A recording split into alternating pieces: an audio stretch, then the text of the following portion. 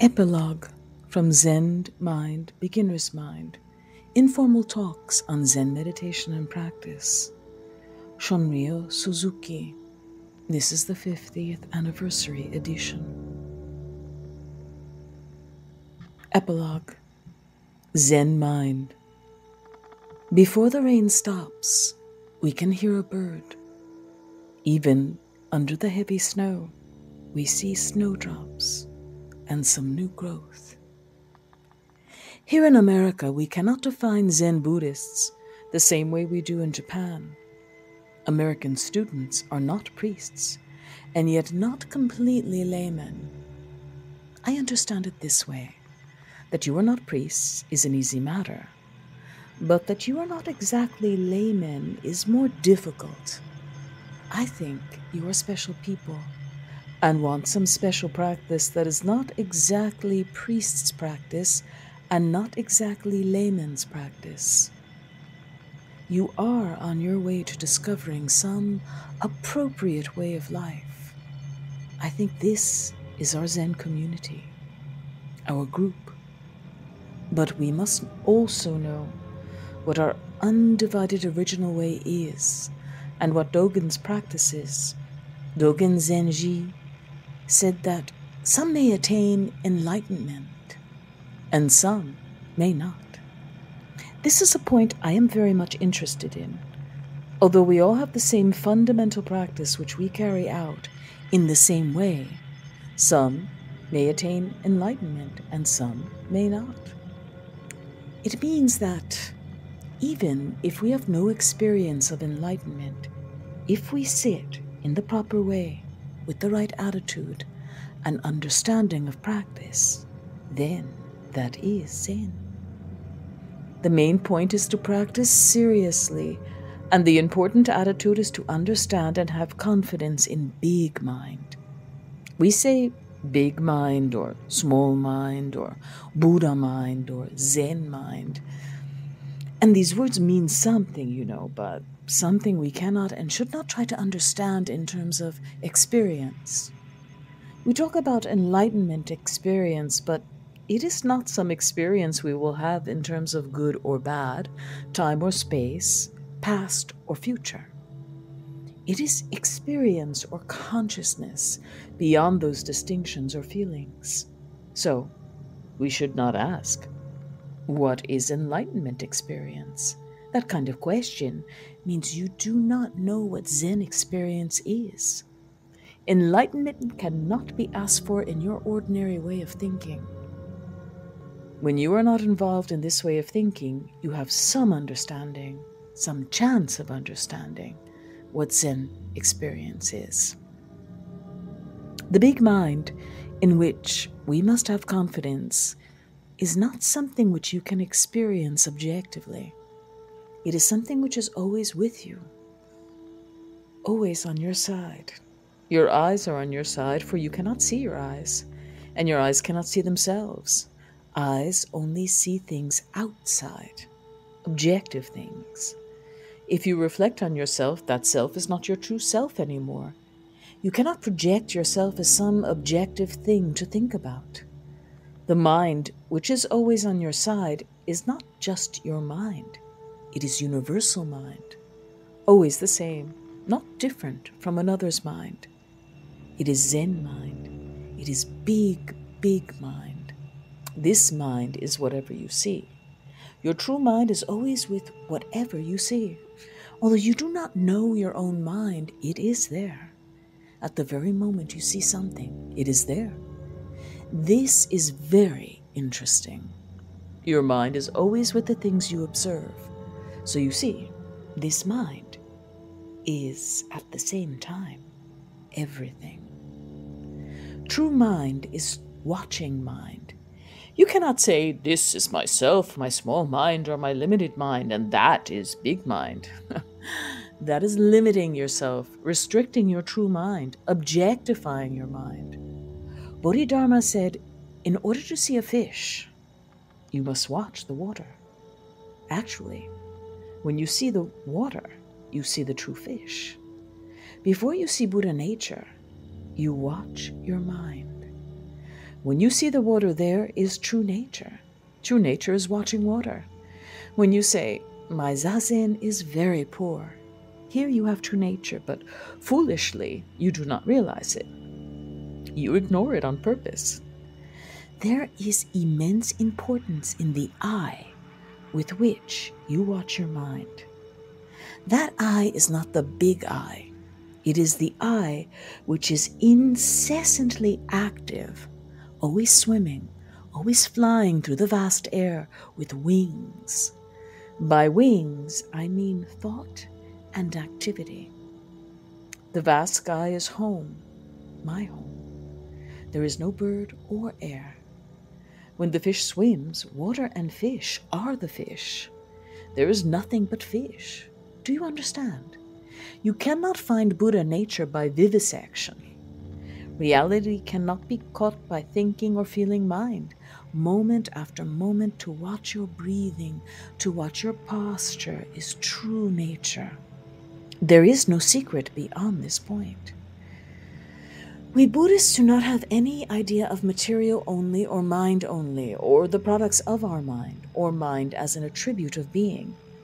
What we are always talking about is that mind and body, mind and material, are always one. But if you listen carelessly, it sounds as if we are talking about some attribute of being, or about material or spiritual. That will be a version of it, maybe. But actually, we are pointing out mind, which is always on this side, which is true mind. Enlightenment experience is to figure out, to understand, to realize this mind which is always with us and which we cannot see. Do you understand? If you try to attain enlightenment as if you see a bright star in the sky, it will be beautiful and you may think, ah, this is enlightenment. But that is not enlightenment. That understanding is literally heresy. Even though you do not know it, in that understanding, you have the idea of material only. Dozens of your enlightenment experiences are like that some material only, some object of your mind. As if through good practice you found that bright star. That is the idea of self an object. It is not the way to seek for enlightenment. The Zen school is based on our actual nature, on our true mind as expressed and realized in practice.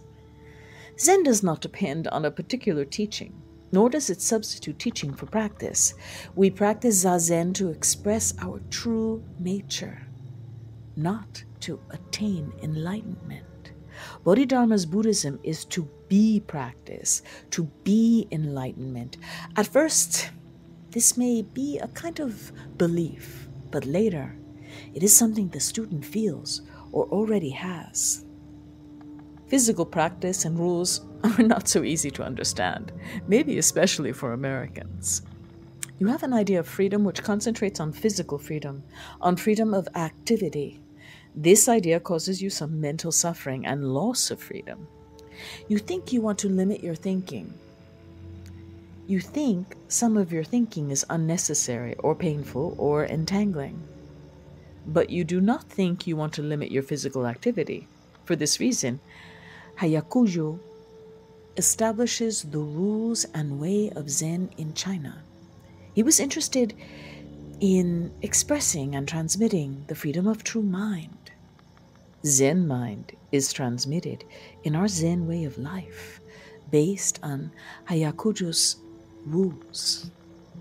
I think we naturally need some way of life as a group and as Zen students in America, and as Hyakujo established our way of monastic life in China. I think we must establish an American way of Zen life. I am not saying this jokingly. I am pretty serious, but I do not want to be too serious. If we become too serious, we will lose our way. If we are playing games, we will lose our way. Little by little, with patience and endurance, we must find the way for ourselves, find out how to live with ourselves and with each other. In this way, we will find out our precepts. If we practice hard, concentrate on Zazen, and organize our life so that we can sit well, we will find out what we are doing. But you have to be careful in the rules and way you establish. If it is too strict, you will fail. If it is too loose, the rules will not work. Our way should be strict enough to have authority, an authority everyone should obey. The rules should be possible to observe. This is how Zen tradition was built, decided little by little, created by us in our practice. We cannot force anything, but once the rules have been decided, we should obey them completely until they are changed. It is not a matter of good or bad, convenient or inconvenient. You just do it without question. That way, your mind is free. The important thing is to obey your rules without discrimination. This way, you will know the pure Zen mind. To have our own way of life means to encourage people to have a more spiritual and adequate way of life as human beings. I think one day you will have your own practice in America. The only way to study pure mind is through practice. Our inmost nature wants some medium, some way to express and realize itself. We answer this inmost request through our rules, and patriarch after patriarch shows us his true mind. In this way, we will have an accurate, deep understanding of practice.